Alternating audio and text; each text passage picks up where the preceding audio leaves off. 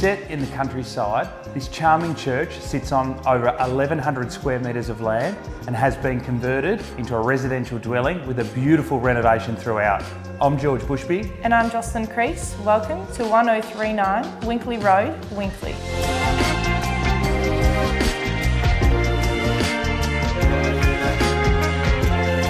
The well thought out floor plan is designed for low maintenance, comfortable living and with a proven rental history poses a great opportunity to secure your own Tasmanian investment or a stunning unique Airbnb.